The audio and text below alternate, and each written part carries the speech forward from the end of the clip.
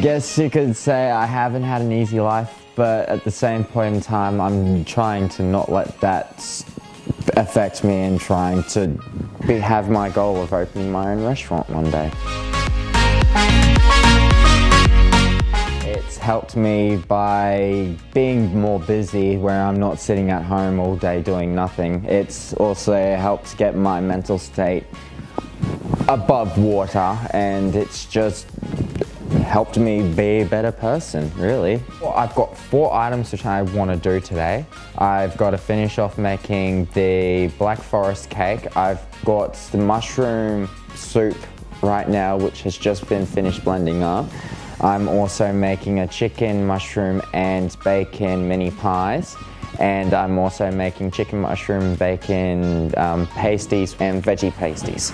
Uh, it's helped me a lot by understanding different cooking methods. It's helped me understand different types of food, where different styles of cooking come from, and the history behind cooking itself. Best opportunity, I reckon.